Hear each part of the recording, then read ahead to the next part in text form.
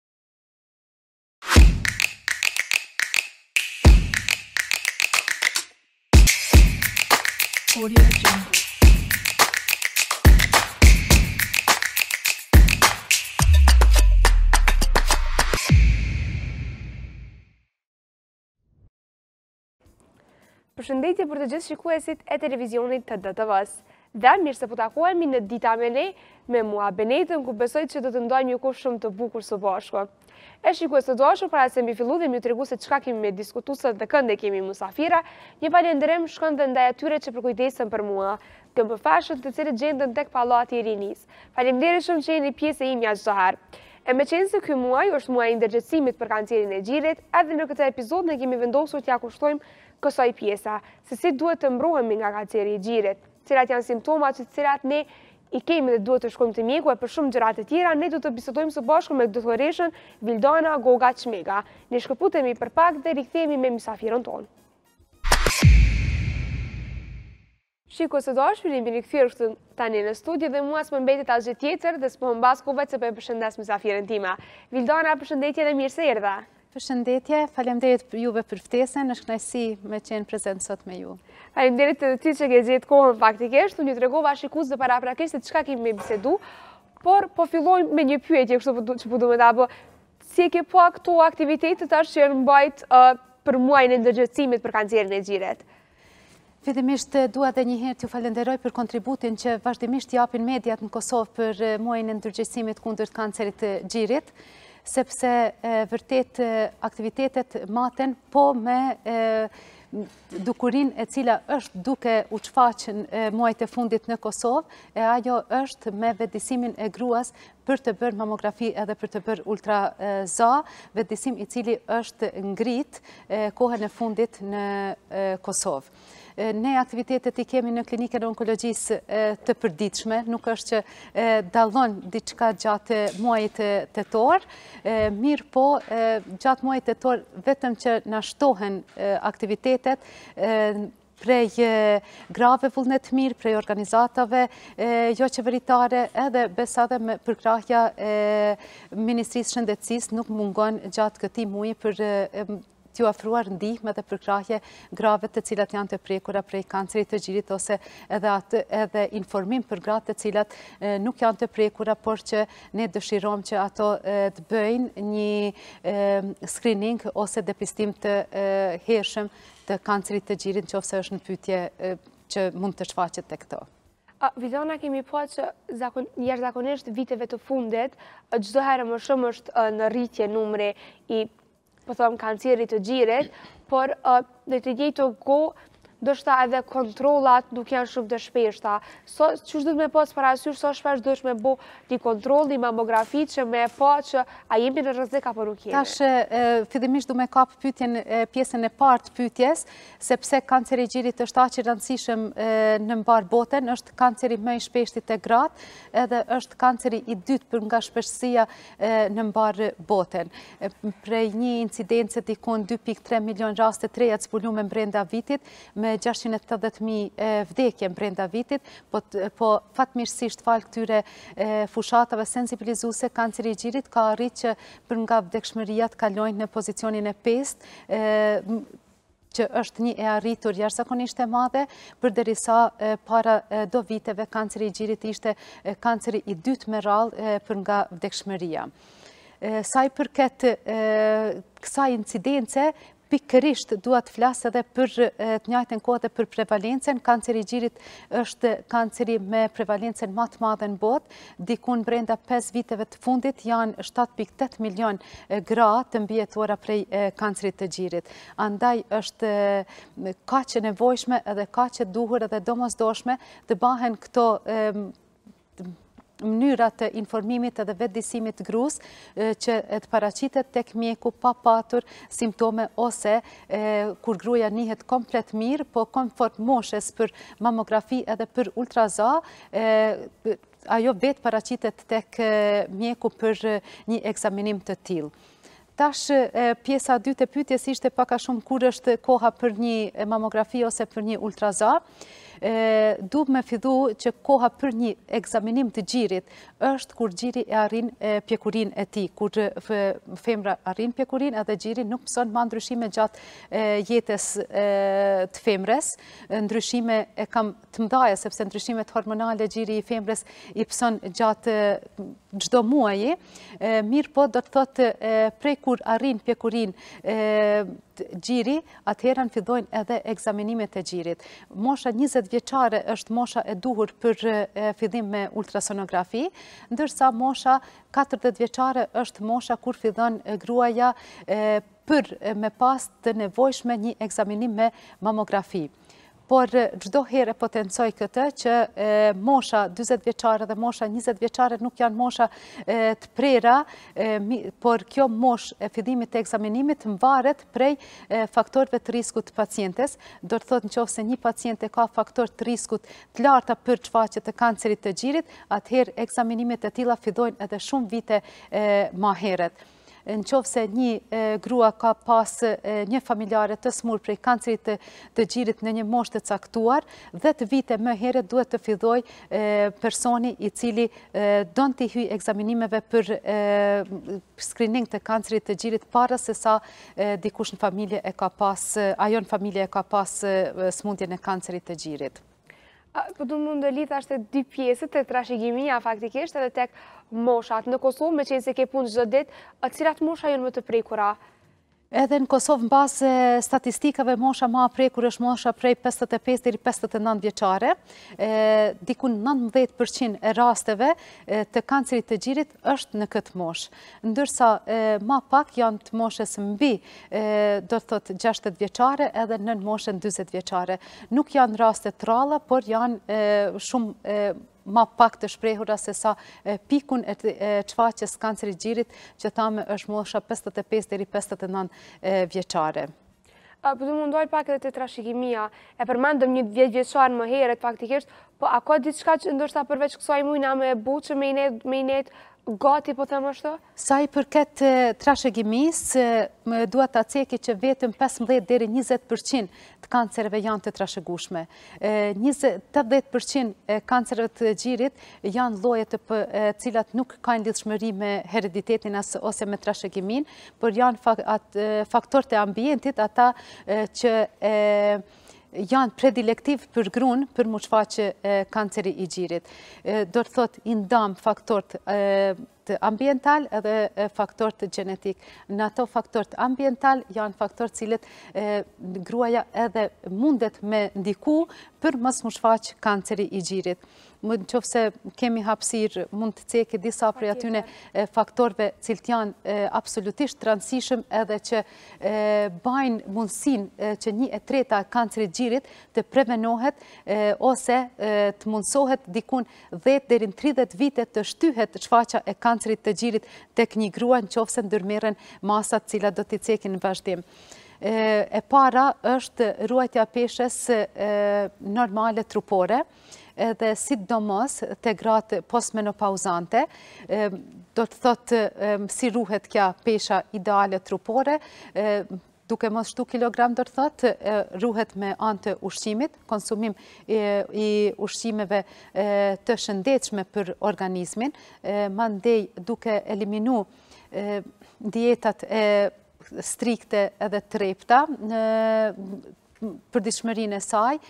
duke eliminu komplet pirjen e duhanit edhe alkoholit. Edhe dua ta potencoj edhe këtë herë që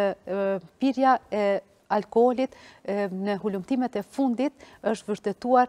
që është shkaktar për kancer të gjirit tek gruaja dhe gruaja e cila don të eliminojë mundësinë e çfaqjes të kancerit, duhet të eliminojë totalisht edhe pirjen e alkoolit. Mandej është aktiviteti fizik, një aktivitet fizik i moderuar, ku ja mundëson grus, një kohë 30 minutsh gjatë ditës të kushtuar vetvetes, pa stres, pa ngarkesa edhe pa punë të përditshme të cilat gruja do të jetë e ngarkuar ose punë të rutinës që vazhdimisht gratë edhe detyrimisht janë duke i ba. Mandej tjetër një jetë e qetë pa përdorim të kontraceptivëve me masë të përdorimit kontraceptivëve në nevojë në qoftë se gjithmonë në konsult me mjekun për dozën edhe për kohëgjatësinë e përdorimit të tyre. Mandej janë disa faktorë tjerë të cilat janë mbrojtëse për grun është koha e gjidhanjes tek gruaja, mos ekspozimi i rrezeve jonizuese ose faktori themelor për shembull është komplet edhe në qoftë se i posedojmë gjithë këta faktorë të cilët na nuk munena, nuk jena në gjendje t'i menaxhojmë, është atëherë paraqitja tek mjeku, pa pas simptoma edhe pa pas shenja për një mamografi depistuse ose mamografi screeningut. Pra po u ndalët pak edhe te këto simptoma, cilat janë ato simptomat e para që ndërstani janë paralajmëruse ashtu që me e kuptu që kemi problem ose po na shpijen deri tek kanceri i gjirit. Po, para se flas për simptoma, du me apelu tek gjitha ato gra që mas me pru situatën me pas simptoma për m'u paraqit tek mjeku. Sepse në atë momentin kur ka simptomatologji, atëherë smundja detyrimisht themi që është edhe e zhvillume, nuk është stad i hershëm ashtu siç kishim dëshiru na për me qenë smundja stad i hershëm. Ndërsa prej simptomave janë simptomat të ndryshme klinike që mundet me pas gruja, prej simptomave të përgjithshme, pa prek, do të thotë kur gja një herën në gji, por plogështi, lodhje, djersitje natën, humbje disponimit, depresione, e kështu me radhë, ndërsa ose ndonjë anemi jo e vërtetuar nga çfarë sëmundje tjetër mund të ketë gruaja, edhe simptomat specifike të lidhura me vetë gjandrën e gjinit. Do të thotë shumicën e herëve, gruja prek një ndryshim në gji, nodus, ose tumefaksion, ose një kokërr në gji, e cila e ban atë mandej m'u paraqit tek mjeku. ose prek ndonjë ndryshim në nënsjetull, ose vren gruja shenja në lëkuren, në strukturen ose në formen e gjirit. Do të thotë çdo ndryshim në lëkuren e gjinit, në qoftë se është gjini i ajtun, i skuqun, në qoftë se ka venat ma të shprehura, në qoftë se ka madhësia është e ndryshme prej madhësisë gjirit tjetër, ose i ka ndryshu forma, a është anu, ose ka gropëzime në gji, ose ngritje në gji, ose ndryshime në majën e gjirit, qoftë maja e gjirit që gjakos, ose rrjedh lang i cili nuk është qumsht i pastërt edhe nuk është në kohen e laktacionit, do thotë gruja për me pas rrjedhje të tilla, mund të jetë një prej shenjave dhe fakto, shenjave që duhet me nxit grun për m'u paraqit tek mjeku, ose edhe maja e gjirit e tërhekun mbrenda, është një prej simptomatologjive. Do të thotë çdo ndryshim, qoftë në lëkurë, qoftë në formë edhe strukturë, edhe pa prek kurgja, është një prej faktorëve të cilët munden me qenë predilektiv për gruja me pas kancer të gjirit. Megjithëse duhet t'shtoj për shkak të korrektësisë, që dikun 80% e ndryshimeve në gji janë ndryshime beninje, kështu që gruaja nuk ka nevojë të shqetësohet edhe nëse diçka rastësisht ka prek ose ka vrejt në gji, por është e nevojshme që ajo çfarë ka prek edhe çfarë shef në gjirin e saj, mos të neglizhohet, por të paraqitet sa më parë tek mjeku për verifikim të asaj çfarë është duke ndodhur në gjirin e saj. Një diçka tjetër që faktikisht në popullin tonë është e njohur janë ato cistat që ne i njohim. A kishim mujt na me e dallu ndoshta në bazë të prekjeve fillimisht mos me pas ose atë stresin e madh atë panik në fillim, që me e ditë nëse është cist apo nuk mujna me e ditë pa e bë mamografinë. Është e vështirë realisht në bazë, edhe për profesionistin shëndetësor në bazë prekjes është jashtëzakonisht e vështirë me vrejt a është cist apo është ndonjë kancer në pyetje. Dua ta baj diferencën midis cistave që janë beninje edhe kanceri është smundje malinje, edhe ka veti do të thotë metastazuse, do të thotë veti që infiltron indin edhe strukturën përreth, ose jep metastaza të larta, ndërsa cistat, në shumicën e rasteve, në shumicën e rasteve, por duhet ta potencoj që edhe ai gji i cili ka cista, mbrenda për mbrenda cistës mund të zhvillohet ndonjëherë ndonjë formacion kanceroz. Kështu që edhe në qoftë se një gru ka cista, duhet me qene përcjellun mënyrë kështu konkrete tek mjeku tek mjeku përkatës. Por ajo çka e ban ndryshimin midis cistës edhe kancerit, që mundet m'u vrejt, janë karakteristikat ehosonografike ose mamografike, ku struktura është aja e cila e ban këtë diferencë, por që me palpacion, apo me shikim, nuk mund të arrihet të bahet kjo diferencë. Gruaja, çka prek gruaja realisht në gji, janë e prek gjandrën e gjirit, edhe atë sidomos e gjatë periudhës kur gjini është i tendosur, do të thotë në veprimin hormonal, ajo arrin që me prekjet e veta, t'i prek si kokrra rrushi, disa struktura, disa formacione në gji, e ato pikërisht janë gjandra e gjirit, do të thotë qeskat, ku fillon prodhimi i qumshtit, ata janë pjesë që gruaja mundet m'i prek, ndonjëherë edhe ndonjë formacion i madh,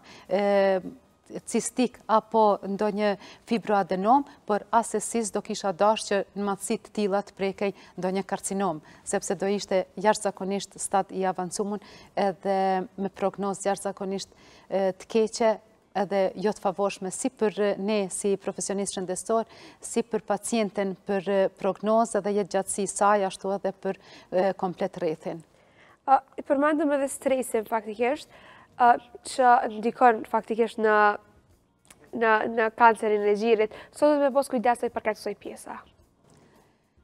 Ëm është e pamundur të jetohet një jetë pa stres, është evidente kja dhe është fakt, mirëpo duhena m'u mundu pak a shumë që gjërat që na vijnë n'jetë, t'i marrim me, me lehtësi, sepse unë çdo herë tham sprova është e bukur atëherë kur merret me me durim. Se në qoftë se nuk e merr me durim smundja është ekzistente dhe me panik nuk arrihet askurrgja për menaxhu, menaxhu përveç asaj që arrin ekstra për me ngarku organizmin edhe ekstra me zbrit imunitetin e grus ose komplet, si me thanë, ja mundësan organizmit lirimin e atyne hormoneve cilat janë stresogjene edhe janë t'damshme për qelizat e grus. Në të njëjtën kohë, kom pa, tash nuk pe di sa qëndron e vërteta, apo do me t'pyt, kom pa shumë video të ndryshme, faktikisht që kanë qarkullu që Te sqetulla, depilimi me mjete të ndryshme mund me çu deri tek kanceri edhe deri tek formimi i atyre gjëndrave. Sa qëndron kjo pjesë si profesioniste, me na tregu tash të vërtetën ashtu? Nuk ka diçka prej hulumtimeve konkrete që janë bërë që mjetet depiluese janë ato të cilat janë shkaktarë të kancerit të gjirit, mirëpo Çfarë tregojnë deri tash hulumtimet është pjesa që janë disa substanca t'cilat nuk guxojnë t'i përdor gruja qoftë gjatë depilimit, qoftë gjatë përdorimit t'deodorantëve ose atyne sprejave për antidjersë. Ata janë disa përbërës që me alumin, disa nitrate, disa substanca t'cilat në kontakt me lëkurën e grus, janë lirojnë radikale t'lira edhe do kishin mujtë të dëmtojnë diçka në strukturën e aksillës ose nënsqetllës, por jo tipike t'lidhura me kancerin e gjirit. Sepse kjo pjesë më interesojke, po besoj që ka interesu edhe shikuesve, sepse videot që kanë qarkullu faktikisht kanë qenë t'shumta, edhe unë personalisht filloj me më kap njasi lloj paniki, çka nëse unë jem një ndër to edhe e kom qenë pre e këtyne, po... Nuk ka diçka konkrete po, edhe... Nuk kemi nevojë ndoshta me pas. Nuk është shqetësuse edhe Nuk ka nevojë të merret aq shumë serioze puna e përdorimit të atyne mjeteve, por që të shikohet përmbajtja me kujdes, po. Sepse aty nuk është vetëm nënsqetlla, është pjesë edhe tjera të lëkurës që mund të rrezikohet jo prej kancerit të gjirit, po të rrezikohet edhe prej ndonjë lloj tjetër të kancerit kur përdoren substanca t'tilla. Kancer të lëkurës, kancer të gjandrës djersës, e kështu me radhë. Në të njëjtën kohë është edhe ajo ndoshta shërimi nëpër faza, në cilën fazë përveç fazës fillestare, mujna me nxan shërimin edhe në cilën fazë shërimi nuk është i mundur, por ndoshta jetëgjatësia është e mundur akoma. Kështu, ka mjaftë për t'u diskutu për këtë pytje dhe t'i bi si radha situatave, Sëmundja e kancerit gjirit i ka katër faza. Faza zero është aja faza cila na insiston për me gjetë sëmundjen, edhe është faza që është 100% e shërushme, ku vetëm me në aspekt kirurgjik, pa nevojë trajtimit matutjeshëm, gruaja mundet me vazhdu jetën edhe pas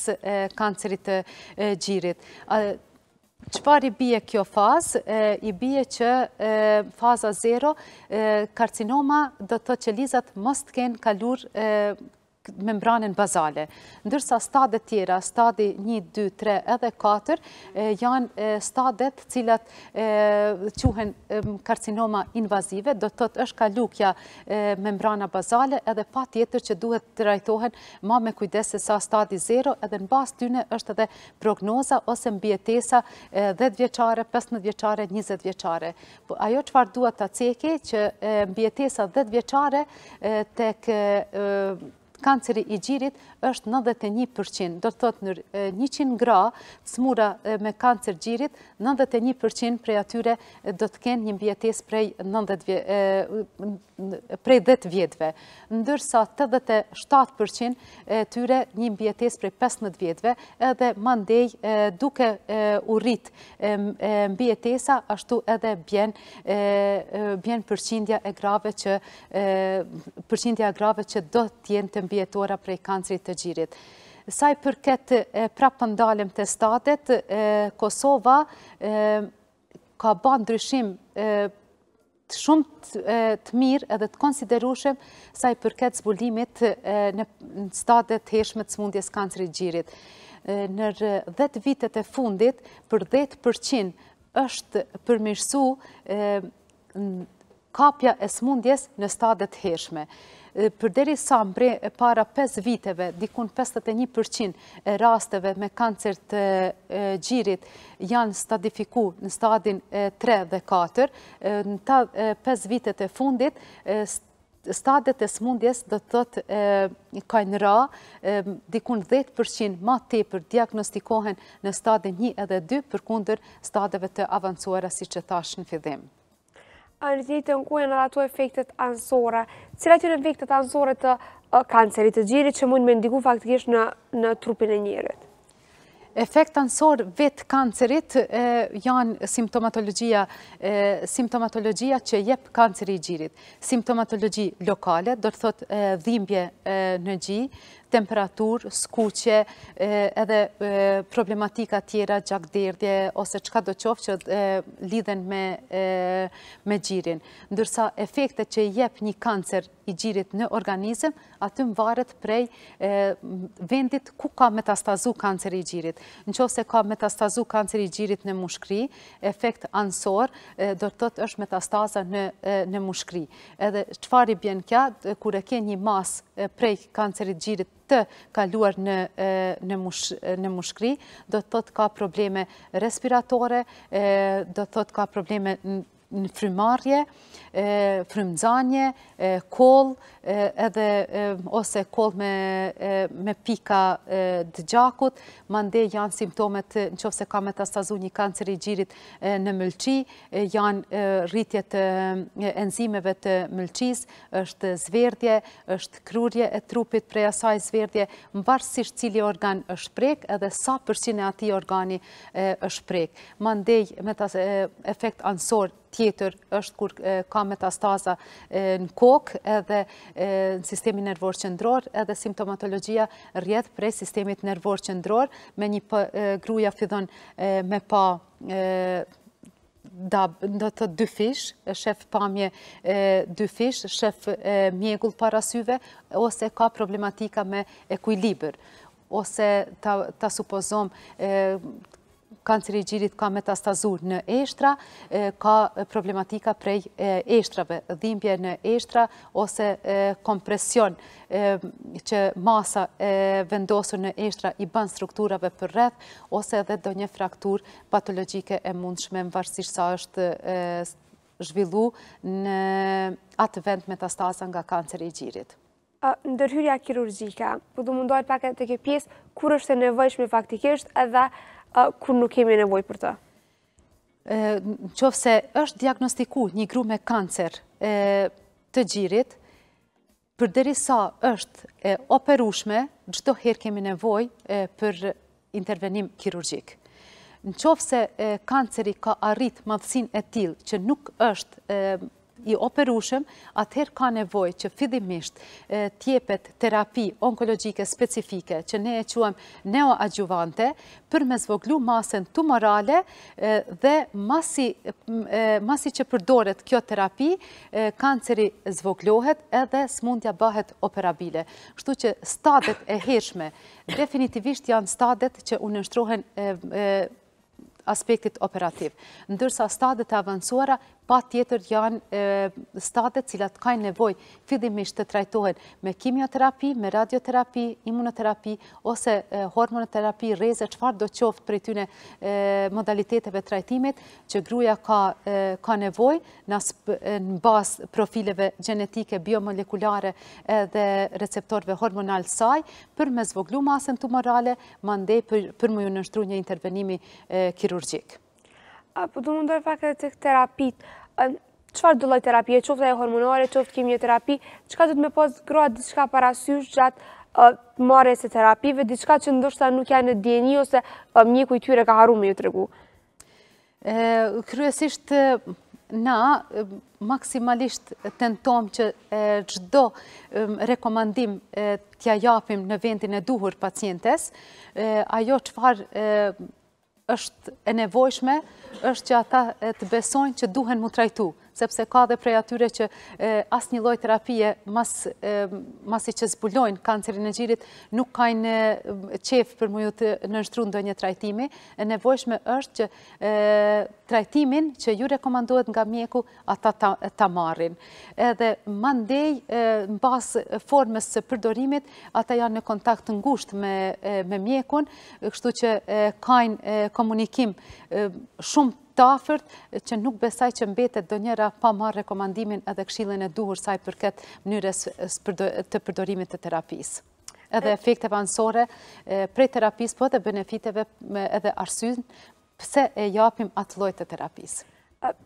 Doktoreshë, diçka që e dëgjojmë pothuajse shumë herë është edhe biopsia, po. e cila ndihmon diagnostifikimin, po, po që në fakt nuk, personalisht nuk është që e di saktë çka është. Kom kërku, faktikisht, po nuk është që nështëta më shra me kuptu, ose përkufizimi nuk është i qartë. Kështu, për në qofë se një gru, shifet një masë në gji, për m'u definu çfarë është aja masë në gji, ai ndryshim në gji, për m'u definu saktësisht, është biopsia ajo që e definon. Do të thotë, merret një një copë prej strukturë, prej gjinit, aty ku është ndryshimi, do të thotë ka lloje të ndryshme fillimisht biopsisë të ceki, por dy janë ma të shpeshtat cilat përdoren tek na, është fine needle aspiration biopsi, biopsia me gjilpanë të hollë, që mirren disa qeliza edhe shikohen a ka qeliza malinje, apo nuk ka qeliza malinje, te ai ndryshim që gruaja ka në gji. Edhe është biopsia eksizionale ose llojet tjera të biopsisë që hiqet mirret një formacion domethanë ma i madh, mirret një material ma i madh edhe shifet me mikroskop edhe vërtetohet histopatologjikisht nga mjeku patolog a ka kancer gruaja apo nuk ka kancer. A ka do të thotë qeliza kanceroze qeliza malinje apo nuk ka. Në qoftë se kjo biopsi, kjo masë e marrur edhe e shikumun në mikroskop rezulton që ka qeliza malinje, i nënshtrohen mandej intervenimit kirurgjik apo edhe gjitha intervenimeve tjera specifike onkologjike mvarësisht prej stadit klinik të smundjes. E përmendëm edhe ushqimin, praktikisht kam dëgju raste të ndryshme që mishi nuk është i preferu me u hangër, nëse je e diagnostifiku ose je gjatë terapive ose në fazat fillestare. Qysh qëndron kjo pjesë? Edhe kjo pjesë është diskutu shumë, viteve të fundit janë bërë hulumtime të shumta, edhe është pa që konkretisht mishi nuk është ai i cili përkon kryekëput me çfaqjen e kancerit të gjirit. Kështu që një mish i zimun, i përpunumun në shpi, në kushte shtëpijake, është absolutisht i padamshëm për përdorim. Në sasinë e rekomandume, ashtu si për çdo të shnosh. Jo që ka diçka të veçantë përdorimi i mishit tek pacientet me kancer të gjirit. Rekomandohen disa abstenime prej produkteve të qumështit tek personat që kanë disa produkte, disa terapi, cilat kanë disa kontraindikacione me produkte të qumështit. Përndryshe, si e smurë me kancer të gjirit, nuk rekomandom diçka tipike ndonjë ndalesë që mos të konsumohet mishi apo çfarëdo tjetër qoftë. Ajo çka na rekomandojmë është të konsumohet sa ma pak brumë, sa ma pak yndyrë, sa ma pak sheqer, si çdo rekomandim për secilin nga ne. Ndërsa, mvarësisht prej terapisë që përdor, mund të eliminohet apo t'i shtohet edhe diçka prej suplementeve gjatë trajtimit gruas me kancer gjirit. Edhe diçka tjetër, largimi prej ajrit të ndotun, edhe shkuarja nëpër bjeshkë, nëpër male ndikon, domethënë po që është e preferushme shumë prej personave që janë të diagnostifikume me kancer edhe që ju ndikon faktikisht shumë mirë në, në shëndetin e tyne. Në, nëse në një fazë fillestare, dikush vetë se vunë, uh, sa ndikon ajri i pastër ndoshta, ndoshta siç e dinë që është Prevalla, e vende të ndryshme që shkojnë gratë, që ndoshta me ndiku sa ma mirë në shëndetin e tyne. Kudo që shkojnë që gjejnë relaks, qoftë Prevallë, qoftë bregdet, unë pacientve ju rekomandoj. Qoftë bjeshkë, qoftë bregdet, unë ju rekomandoj, nuk është diçka tipike e lidhur me kancer gjirit kjo, është ma tepër me atë qetsinë, që psikologjike, psikike, që gruja e gjen, që është tu ba diçka për vete, edhe vërtet i përkushtohet pak jetës Ma ndryshe, mas përvojës me kancer. Nuk është diçka që prapë po tham, ka hulumtim të tillë që është e rekomandueshme, por ashtu si e nin gruaja veten që nihet mirë me shku dikun, pa problem na nuk është që kemi ndonjë ndalesë ose ndonjë rekomandim ekstra se ku të shkojë ose ku të shëtisë Sipas mundësive është e gjitha. Doktoreshë, se p'i afrohemi ashtu edhe fundit ngadalë, nëse nuk e di nëse kemi harru najdiçka pa përmend, u mundum me i me i përthekue ashtu të gjitha, nëse të ka metë diçka?